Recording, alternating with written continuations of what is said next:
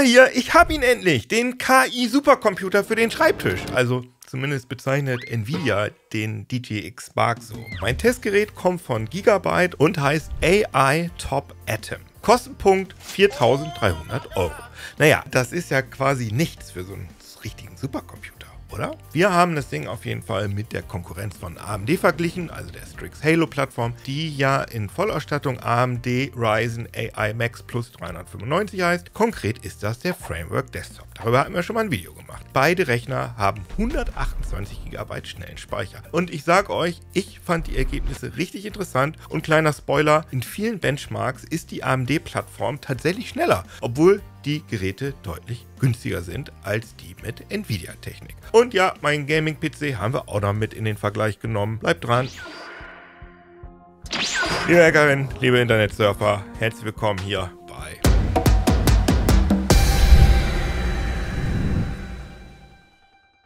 Ja, hier im Video geht es ja um KI-Workstations für lokale KI, aber ihr könnt KI-Modelle natürlich auch in der Cloud nutzen. Ja, großer Vorteil, das funktioniert dann auf jeder Kartoffel, auf der ein Browser läuft. Ja, und da kommt Mammoth aus Frankreich ins Spiel, die sponsern dieses Video. Für nur 10 Euro im Monat bekommt ihr da Zugriff auf Claude, GPT, Llama, Gemini, Mistral, Grok, DeepSeek, Perplexity, Flux, Nano Banana und Recraft. Alles unter einer Oberfläche und einem Abo. Also einfach Prompt eingeben und dann das Modell auswählen und ihr könnt natürlich auch Dokumente und Bilder hochladen. Ja, der Preis ist echt ziemlich heiß, wenn man bedenkt, dass alleine das ChatGPT Plus Abo über das Doppelte im Monat kostet. Und bei Mammoth kriegt ihr viel mehr dafür. Ja, wenn ihr das interessant findet, schaut mal in die Beschreibung, da findet ihr mehr Infos und einen Link zu Mammoth. Werbung Ende.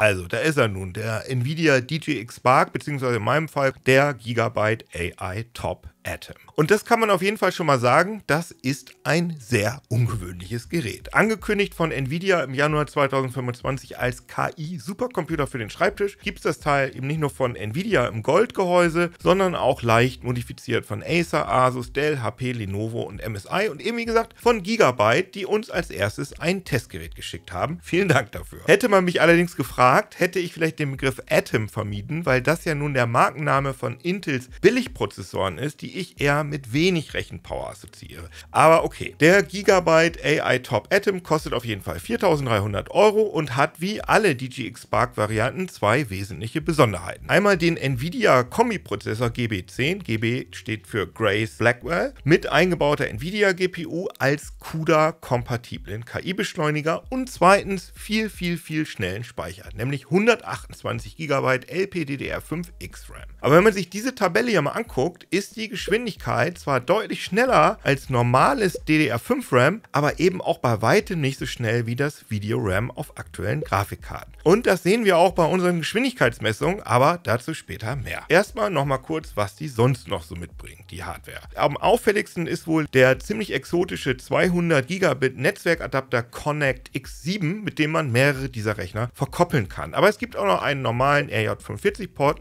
mit 10 Gigabit Ethernet. Ansonsten halt einfach nur einen HDMI HDMI 2.1a Port und vier USB-C Ports, einer davon für die Stromversorgung. Ja, die läuft tatsächlich über USB Power Delivery und das Teil zieht unter Volllast auch maximal nur 216 Watt. Hier seht ihr auch noch unsere anderen Messwerte, die meine Kollegen aus dem Hardware-Ressort der CT ermittelt haben. Interessant dabei ist, dass der GPU-Teil des GB10 Kombi-Prozessors genauso viel Shader-Einheiten respektive CUDA-Kerne hat wie die GPU der Gaming-Grafikkarte RTX 5070, nämlich 6144 Stück, aber die sind bei der DJX Spark anders strukturiert, nämlich für KI-Algorithmen optimiert. Beispielsweise hat die GB10 GPU doppelt so viele Tensorkerne wie die 5070, nämlich 384 statt 192, aber weniger Render Output Units, 49 statt 80. Kann man also genauso gut eine Grafikkarte nehmen, vor allem wenn da ja, wie gesagt, auch noch viel schnellerer Speicher drin ist? Ja, nee, denn Consumer-Grafikkarten haben zurzeit maximal 32 GB Speicher, die 5070 hat sogar nur 16 und unser Testgerät halt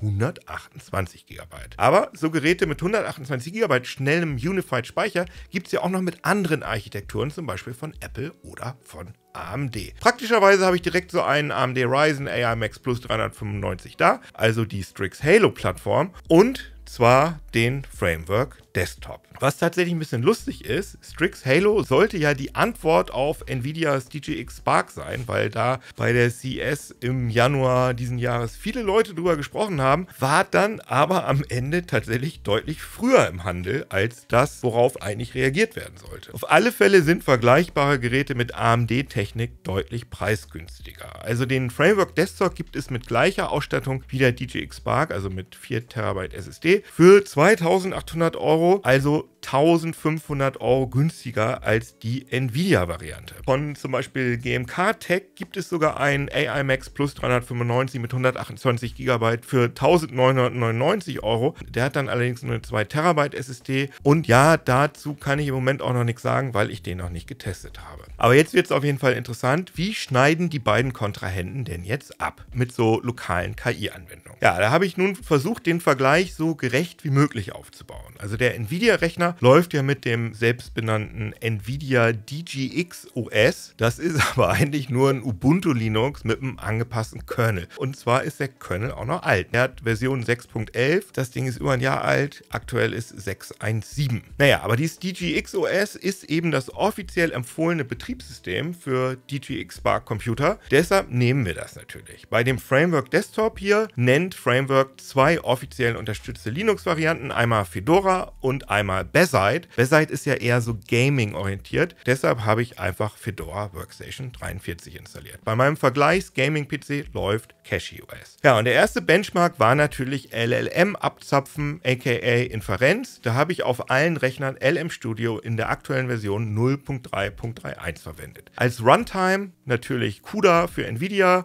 und Vulkan für das AMD-System. RockM kann LM Studio eigentlich auch, aber das lief bei uns nicht. Und Ramtamtamtam, hier sind die Ergebnisse. Ja, ich würde sagen, das nimmt sich nicht viel. Beziehungsweise bei dem wichtigen Modell GPT OSS 120b ist der günstigere AMD-Rechner sogar 11% schneller. Generell kann man auf jeden Fall sagen, wenn ihr nur LLM-Inferenz machen wollt, könnt ihr gut das AMD-Modell nehmen. Fernab von den Vergleichen, es ist auf jeden Fall beeindruckend mit GPT OSS ein 63 GB großes Modell mit 120 Milliarden Parametern mit fast 50 Token die Sekunde laufen zu lassen auf so einem kleinen Ding. Das ist tatsächlich besonders. Allerdings gibt es auch nicht so viele Open Weights Modelle, die so groß sind. Und da kommt jetzt mein Gaming-PC mit RTX 4090 ins Spiel. Guck mal mal hier.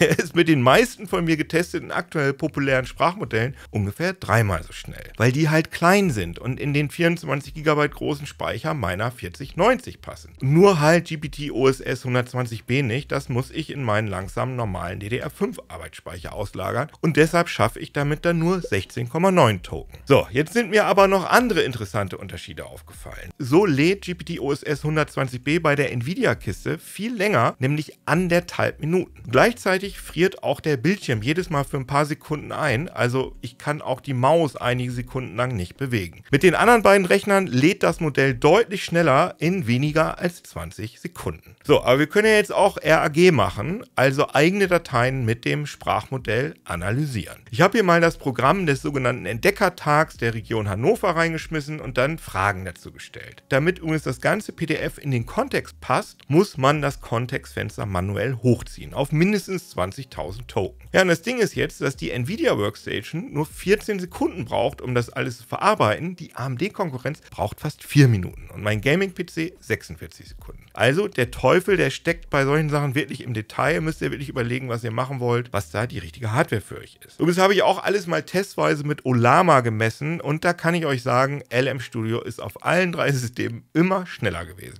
Hier die Zahlen dazu. Ja, aber man will ja vielleicht mit so einer Workstation nicht nur LLMs anzapfen, sondern vielleicht auch Bilder, Videos oder Musik generieren. Und das machen inzwischen viele Leute mit Comfy UI. Das ist so eine Node-basierte Gen AI-Umgebung. Und ja, die lässt sich bei Nvidia wunderbar einfach installieren. Es gibt da nämlich sogenannte Playbooks und das sind so ganz so recht übersichtlich gemachte Tutorials, wie man bestimmte Dinge zum Laufen bringt. Ja, und da gibt es ziemlich viele dieser Playbooks von Nvidia. Also auch für so Feintuning-Sachen zum Beispiel an Anbindung in VS Code und natürlich, wie gesagt, auch Comfy UI. Das Playbook sagt, die Installation dauert 45 Minuten. Das ist aber wirklich sehr pessimistisch. Das hat in meinem Fall nicht mal 15 Minuten gedauert. Auf dem Framework Desktop sah die Sache dann schon wirklich anders aus. Da habe ich mich leider stundenlang festgefrickelt, weil ich es lange nicht hinbekommen habe, dass ComfyUI meine RockM-Installation akzeptiert. Ja, und da merkt man dann halt deutlich, dass viele Sachen eben mit NVIDIA CUDA im Kopf entwickelt wurden. Also RockM ist quasi die AMD-Variante von CUDA, aber eben ein bisschen weniger populär. Ja, und am Ende habe ich es hinbekommen, aber mein Benchmark hier, das ist einfach das Bildgenerierungsmodell FluxDev FP8. Da habe ich einfach das Standard-Template mit einem eigenen Prompt genommen. Ja, und da braucht das Generieren eines 1024 x 1024 Pixel großen Bildes mit dem NVIDIA DGX Spark System 38 Sekunden, bei dem AMD-System 89 Sekunden, also mehr als doppelt so lange. Mein Gaming-PC mit RTX 4090 schafft es in 12 Sekunden. Wenn ihr jetzt aufgepasst habt, dann habt ihr vielleicht gemerkt, dass es eine einzige Sache gab bislang, die mein Gaming-PC nicht deutlich besser gemacht hat als die beiden speziellen KI-PCs. Und das ist tatsächlich das Abzapfen des einen großen LLMs GPT OSS 120b, weil das eben nicht in die 24 GB Speicher meiner RTX 4090 passt. Aber der ganze andere Kram eben schon. Also gerade diese Bild-Video-Generierungssachen, die sind halt auf kleinere RAM-Größen ausgelegt. Okay, ja gut, man könnte natürlich von den offenen Sprachmodellen statt mit 4-Bit quantisierte Modelle irgendwie, keine Ahnung, 8-Bit quantisierte Modelle nutzen. Die würden auch nicht in den Speicher meiner Grafikkarte passen und natürlich schon in die AMD Workstation, in die Nvidia Workstation. Das würde schon gehen, aber ob das so viel bringt, ist die Frage. Aber generell kann man auf jeden Fall sagen, es fehlen die KI-Killer-Applikationen für diese Speichergröße, weil dann am Ende 128 GB dann doch zu wenig sind, um zum Beispiel sowas wie DeepSeek zu laden, was also wirklich ein ernsthafter Wettbewerber zu den großen kommerziellen Cloud-Modellen ist. Aber das braucht halt einfach mindestens das Fünffache an Speicher. Und deshalb muss man sagen, dass die KI-Workstations wirklich für Ottilie normal KI-Anwender wahrscheinlich nichts sind. Und dass am Ende die Nützlichkeit sehr, sehr, sehr, sehr spezifisch ist. Also zum Beispiel, das ist für Leute, die irgendwelche KI-Software in Rechenzentren deployen wollen und die vorher auf der gleichen Architektur testen wollen. Also ein ganz spezielles Entwicklergerät für die NVIDIA Server-Plattform DGX. Wenn ich mir jetzt aber angucke, wie viele Hersteller die diese sehr, sehr speziellen Rechner verkaufen, da denke ich schon, hm, da scheint der KI-Hype dann doch schon mit reinzuspielen. Denn gibt es wirklich so viele Entwickler, die einen so speziellen Rechner brauchen? weiß nicht. Beim Framework ist es ja so, dass der Rechner primär als Gaming-PC vermarktet wird. Also zumindest steht hier auf der Website Gaming noch vor KI und auch die Produktfotos, die sehen mir sehr nach Gaming aus. Aber auch hier ist es so, das Preis-Leistungs-Verhältnis ist, wenn man damit nur spielen will, ziemlich schlecht. Ja, also, wenn jemand von euch da draußen mit diesen Geräten liebäugelt, ich hoffe, dieses Video hat euch ein bisschen geholfen, das Thema besser einzuschätzen. Ich jedenfalls, der sehr gerne mit lokalen KI-Sachen herumexperimentiert, ich kann für mich auf jeden Fall sagen, dass ich mit meinem PC mit RTX 4090 und 128 GB langsamen DDR5 RAM als Backup-Notlösungsspeicher Stand heute mehr anfangen kann als mit diesen beiden spezialisierten Geräten. Aber ich bin auch kein Entwickler, der irgendwelche Modelle feintuned, bisher jedenfalls nicht, oder Anwendungen für DGX-Systeme baut. Ja, wie seht ihr das? Bin ich da total auf der falschen Spur? Gerne in die Kommentare schreiben und tschüss.